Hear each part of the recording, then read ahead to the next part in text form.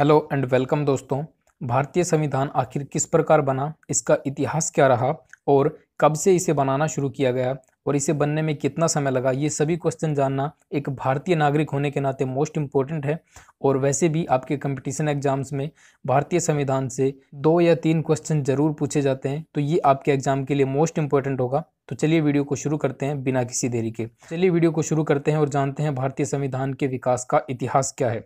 संविधान किसी भी देश का कानूनी दस्तावेज़ है और किसी भी देश का संविधान उसकी राजनीतिक व्यवस्था का वह बुनियादी सांचा ढांचा निर्धारित करता है, जिसके अंतर्गत उसकी जनता शासित होती है। अर्थात किसी भी देश के अंदर जनता पर शासन करने के लिए एक कानूनी दस्तावेज़ होना ज़रूरी है और इसी कानूनी दस्तावेज़ को हम लोग संविधान कहते हैं। अब संविधान जो होता है, ये मुख्य रूप से दो प्रकार का होता है। पहला है लिखित संविधान, जैसे कि भारत के पास अपना एक लिखित संविधान है। इसके अलावा रूस, यूएसए आदि देशों के पास भी अपना लिखित संविधान है। और दूसरा होता है अलिखित संविधान, इसके अंदर किसी भी प्रकार के कानूनी दस्तावेजों को लिख कर नहीं रखा जाता है। उसकी जनता प्रशासन अलिखित संविधान के रूप में किया जाता है। जैसे कि Britain Israel Canada, New Zealand और सऊदी अरेबिया, इन देशों के पास कोई भी अपना लिखित संविधान नहीं है। भारतीय संविधान के विकास की बात करें तो इसके अंतर्गत हमें तीन मुख्य रूप से अधिनियम पढ़ने होंगे।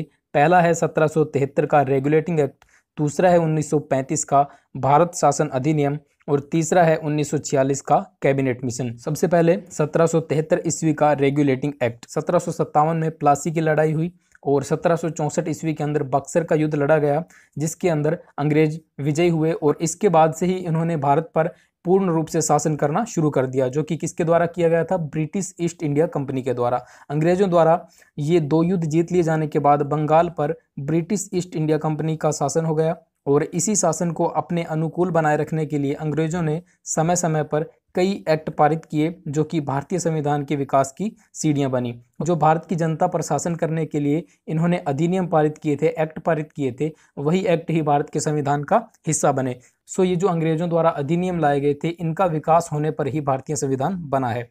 अब देखो, रेगुलेटिंग एक्ट जो था इसके तहत सत्रह ईस्वी में कोलकाता में एक सुप्रीम कोर्ट की स्थापना की गई थी, जिसके पहले मुख्य न्यायाधीश एलिजा इम्पे थे। मोस्ट इंपॉर्टेंट क्वेश्चन बनता है यहाँ से, और कई बार एग्ज़ाम में यहाँ से क्वेश्चन पूछा भी जा चुका है। तो आपको ये बात याद रखनी है कि कोलकाता के अंदर जो पहला सुप्रीम कोर्ट बना था, उसके मुख्य न्यायाधीश कौन थे? एलिजा इम्पे आगे देखिए 1935 का भारत शासन अधिनियम। तो सत्रह ईस्वी का जो रेगुलेटिंग एक्ट था, इसके बाद एक मुख्य एक्ट आता है 1935 का भारत शासन अधिनियम। 1935 के भारत शासन अधिनियम से लगभग 60 परसेंट हिस्सा हमारे वर्तमान संविधान के अंदर लिया गया है। लगभग तीन बटे पाँच हिस्सा जो है वो 1935 के भारत शासन अधिनियम से ही लिया गया है।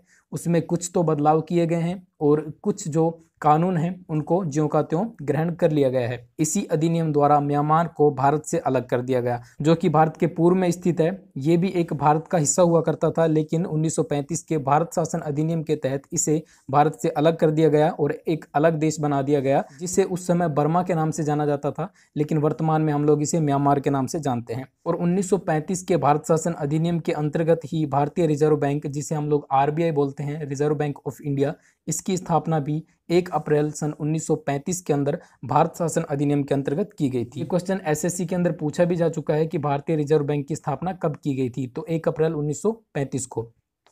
इसके बाद आता है सबसे मुख्य 1946 का कैबिनेट मिशन जिसके अंतर्गत भारत के संविधान को पूर्ण रूप से बनाकर तैयार कर लिया गया था। इसके अंतर्गत जुलाई 1946 के अंदर कैबिनेट मिशन के तहत भारतीय संविधान के निर्माण के लिए संविधान सभा का गठन किया गया। संविधान सभा के सदस्यों की कुल संख्या तीन सौ नवासी थी, थ्री एट्टी नाइन। ये आपको याद रखना है, काफ़ी सारे एग्ज़ाम्स में ये पूछा जाता है कि संविधान सभा जब बनाई गई थी 1946 के अंदर कैबिनेट मिशन के अंतर्गत तो उस समय संविधान सभा के सदस्यों की कुल संख्या कितनी थी? तो कुल संख्या थी तीन सौ नवासी। इन तीन सौ नवासी सदस्यों में से दो सौ बानवे सदस्य जो थे, ये थे ब्रिटिश प्रांतों के प्रतिनिधि, यानी कि भारत के ऐसे स्थान या फिर ऐसे भाग जहाँ पर ब्रिटिश सरकार का सीधा शासन रहता था, वो होते थे ब्रिटिश प्रांत और वहाँ से दो सौ बानवे प्रतिनिधियों को लिया गया था इसके अंदर। तिरानवे देसी रियासतों के प्रतिनिधि थे। अब देसी रियासतें क्या होती हैं? जहाँ पर राजों रजवाड़ों का शासन रहा करता था उन्हें बोला जाता था देसी रियासतें। इसके अलावा चार सदस्य थे चीफ कमिश्नरी स्टेट से। अब चीफ कमिश्नरी स्टेट का मतलब होता है कि ऐसे बड़े शहर जहाँ पर अंग्रेज़ों ने अपना कब्जा किया हुआ था, वो थे चीफ कमिश्नरी स्टेट। तो वहाँ से चार सदस्य थे। इसके बाद संविधान सभा जो है उसका गठन किया गया और इसमें मुख्य रूप से आपको तीन डेट याद रखनी है। 9 दिसंबर 1946, 11 दिसंबर 1946 और 13 दिसंबर 1946 अर्थात 9 तारीख के बाद दो दिन 11 तारीख 11 तारीख के दो दिन बाद 13 तारीख। इस तरह से आपको याद रखना है। तो ये तीन डेट्स हैं जो जो कि मोस्ट इंपॉर्टेंट हैं। 9 दिसंबर 1946 के दिन संविधान सभा की प्रथम बैठक हुई थी क्योंकि उस समय कोई स्थायी अध्यक्ष तो था नहीं। तो इसी के कारण जो सबसे बुज़ुर्ग व्यक्ति थे सभा के अंदर डॉक्टर सच्चिदानंद सिन्हा इनको अस्थायी अध्यक्ष के रूप में चुना गया था। मुस्लिम लीग ने इस बैठक का बहिष्कार किया क्योंकि मुस्लिम लीग की मांग थी कि हमें एक अलग देश चाहिए, इसलिए उन्होंने इस बैठक का बहिष्कार कर दिया। इसके बाद 11 दिसंबर 1946 को डॉक्टर राजेंद्र प्रसाद को संविधान सभा का स्थायी अध्यक्ष चुन लिया गया। पहले अस्थायी अध्यक्ष के रूप में चुना गया था डॉक्टर सचिदानंद सिन्हा को। ठीक है, ये भी आपको याद रखना है कि अस्थायी अध्यक्ष थे डॉक्टर सचिदानंद सिन्हा। उसके दो दिन बाद ग्यारह दिसंबर को डॉक्टर राजेंद्र प्रसाद को स्थायी अध्यक्ष के रूप में चुन लिया गया। फिर आती है तेरह दिसंबर उन्नीस सौ छियालीस तो जवाहरलाल नेहरू ने सभा के समक्ष उद्देश्य प्रस्ताव पारित कर दिया और इसी के द्वारा ही संविधान बनने की जो कार्यवाही है वो शुरू कर दी गई। तो यहीं से शुरू हुई भारत के संविधान बनने की प्रक्रिया। अब देखो, कुछ मुख्य समितियाँ थी और उनके कुछ अध्यक्ष हैं जो कि आपको याद रखने हैं। एग्ज़ाम में डायरेक्ट यहाँ से एक नंबर का क्वेश्चन पूछा जाता है। सो आपको ये सिंपली याद रखना है कि कौन सी समिति के अध्यक्ष कौन थे। तो संचालन समिति जो थी संविधान सभा की, उसके अध्यक्ष थे डॉक्टर राजेंद्र प्रसाद, जो प्रारूप समिति थी, यानी कि जो ड्राफ्टिंग कमेटी थी, जो कि पूरा सांचा ढांचा तैयार करना था, उसके अध्यक्ष थे डॉक्टर भीमराव अंबेडकर। आप जानते हैं कि प्रांतों को एकत्रित करने का काम, यानी कि भारत को एक करने का काम किन्होंने किया था? सरदार वल्लभ भाई पटेल ने। तो यही अध्यक्ष थे भारतीय प्रांतीय संविधान समिति के। इसको आपको याद रखना है। अगला है संघीय संविधान समिति, यानी कि जो केंद्रीय संविधान समिति है। इसके अध्यक्ष थे पंडित जवाहरलाल नेहरू राष्ट्रीय ध्वज संबंधी समिति की बात करें तो डॉक्टर राजेंद्र प्रसाद इसके अध्यक्ष थे। इसके बाद वो ऐतिहासिक दिन आखिर आ ही गया। तीन जून उन्नीस सौ सैंतालीस को जब यह घोषणा कर दी गई कि भारत का बंटवारा होगा, क्योंकि आप जानते हैं कि मुस्लिम लीग ने पहले ही इसकी मांग उठा दी थी कि हमें एक अलग देश चाहिए। इस वजह से तीन जून उन्नीस सौ सैंतालीस को ये घोषणा की गई फाइनली कि देश का बंटवारा किया जाएगा। हमारा भारत देश 15 अगस्त उन्नीस सौ सैंतालीस को आज़ाद हुआ और इसे हम स्वतंत्रता दिवस के रूप में मनाते हैं। लेकिन पाकिस्तान इससे एक दिन पहले, अर्थात 14 अगस्त को अपना स्वतंत्रता दिवस मनाता है। देश विभाजन के बाद संविधान सभा का पुनर्गठन 31 अक्टूबर उन्नीस सौ सैंतालीस को किया गया। सो विभाजन से पहले की जो संविधान सभा थी, उसमें भी पाकिस्तान के काफ़ी सारे राजे रजवाड़े और देसी रियासतें थी इसी कारण एक दोबारा से संविधान सभा का गठन किया गया, जो कि 31 अक्टूबर उन्नीस को पुनर्गठित हुई और इसमें सदस्यों की संख्या थी दो सौ निन्यानवे और जो पहले संविधान सभा बनाई गई थी, उसमें सदस्यों की संख्या तीन सौ नवासी थी। ये आपको पता है। दो इसके अंदर प्रांतीय सदस्य थे और सत्तर देसी रियासतों के सदस्य चुने गए थे। और यहाँ से भी क्वेश्चन पूछा जाता है कि जो भारत और पाकिस्तान के बंटवारे के बाद संविधान सभा का पुनर्गठन हुआ था, उसमें सदस्यों की संख्या कितनी थी? कितने तो प्रांतीय सदस्य थे और कितने देसी रियासतों के थे? ये भी आपको याद रखना है। तो बंटवारे के बाद दो सौ निन्यानवे सदस्य थे टोटल संविधान सभा के अंदर, जिसमें से दो सौ उनतीस तो प्रांतीय सदस्य थे और सत्तर थे देसी रियासतों के सदस्य। चलिए आगे बढ़ते हैं।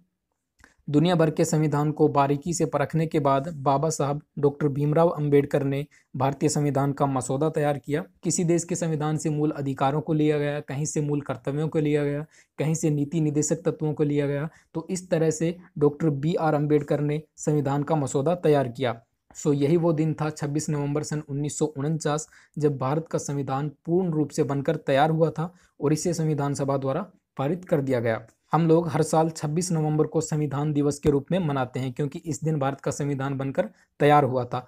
और इसे 26 जनवरी 1950 को भारत में संविधान लागू कर दिया गया और भारत एक गणतंत्र देश बन गया। फाइनली भारत जो है गणतंत्र कब बना? 26 जनवरी 1950 को, जब भारत का संविधान भारत देश के अंदर लागू कर दिया गया। और इसी के साथ ही भारत एक गणतंत्र देश बन गया। अब आप सोच रहे होंगे कि जब संविधान 26 नवंबर उन्नीस को बन गया था तो क्यों ना इसको उसी दिन ही इम्प्लीमेंट कर दिया जाता?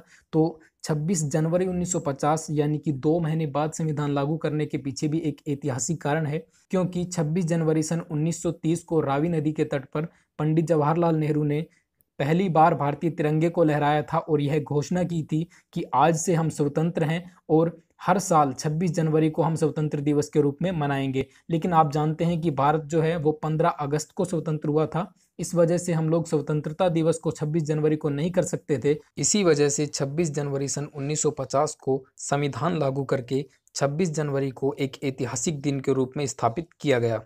चलिए आगे देखते हैं। संविधान सभा के निर्माण के अंदर कुछ मुख्य पहलू जो हैं। सबसे पहली बात, संविधान निर्माण की जो प्रक्रिया थी, उसके अंदर तीन वर्षों से कुछ कम समय लगा था, यानी कि दो वर्ष, ग्यारह महीने और अट्ठारह दिन का समय लगा था संविधान निर्माण की प्रक्रिया को कंप्लीट होने के लिए। संविधान के प्रारूप पर कुल 114 दिन बहस हुई। ऐसा नहीं है कि भारत का संविधान यूँ ही बनकर तैयार हो गया, इस पर डेली बहस हुआ करती थी तो संविधान की जो प्रारूप है, इसको बनने के लिए 114 दिन तक इस पर बहस की गई। संविधान के निर्माण पर कुल मिलाकर आप यहाँ पर खर्चा देख सकते हैं। कुल मिलाकर लगभग तिरसठ लाख छियानवे हज़ार सात सौ उनतीस रुपये खर्च हुए, जो कि प्रतिदिन लिखे जाते थे खर्चे के अंदर। तो यहाँ पर कुल इतना खर्चा हुआ था संविधान के निर्माण के अंदर। जब भारत का संविधान बना तो इसके अंदर कुल 22 भाग थे, तीन सौ पिचानवे अनुच्छेद थे और आठ अनुसूचियाँ थी। लेकिन वर्तमान में इसके अंदर 22 भाग हैं, तीन सौ पिचानवे अनुच्छेद हैं और अनुसूचियों की जो संख्या है, वो बढ़कर 12 हो चुकी है, क्योंकि चार इसके अंदर नई अनुसूचियाँ आ गई हैं। तो 22 भाग तीन सौ पिचानवे अनुच्छेद और 12 अनुसूचियाँ वर्तमान में विद्यमान हैं। लेकिन अनुच्छेदों की बात करें तो यहाँ पर अनुच्छेद तो तीन सौ पिचानवे है, लेकिन इनके कुछ सब अनुच्छेद यानी कि सब आर्टिकल्स इसमें जोड़ दिए गए हैं, जैसे कि तीन सौ पिचानवे कै, तीन सौ पिचानवे ख। इंग्लिश में बात करें तो तीन सौ पिचानवे ए, तीन सौ पिचानवे बी, इस तरह से इसके अंदर कुछ अनुच्छेद जोड़े गए हैं जिसके बाद टोटल अनुच्छेदों की संख्या लगभग 450 के आसपास हो गई है। तो 22 भाग हैं, मुख्य रूप से तीन सौ पंचानवे अनुच्छेद हैं और 12 अनुसूची हैं वर्तमान के अंदर। अब बात कर लेते हैं संविधान सभा द्वारा किए गए कुछ अन्य महत्वपूर्ण कार्यों की, जिसमें सबसे पहले संविधान सभा ने 22 जुलाई उन्नीस सौ सैंतालीस को राष्ट्रीय ध्वज को अपनाया, जो भारतीय तिरंगा है, इसको अपनाया गया था 22 जुलाई सन उन्नीस सौ सैंतालीस को। ओके, आपको याद रखना है। इसके अलावा ये जो भारतीय तिरंगा है, इसका डिज़ाइन पिंगली वेंकैया द्वारा तैयार किया गया था, ये भी आपको याद होना चाहिए।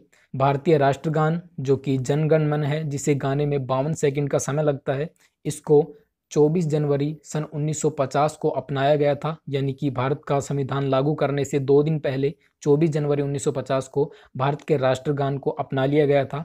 और 26 जनवरी 1950 को भारत के राष्ट्रीय गीत को अपनाया गया था। ओके कंफ्यूज नहीं होना है। राष्ट्रीय गान को तो 24 जनवरी को अपना लिया गया था और राष्ट्रीय गीत को उस दिन अपनाया गया जिस दिन भारत का संविधान लागू हुआ, अर्थात 26 जनवरी सन 1950 को।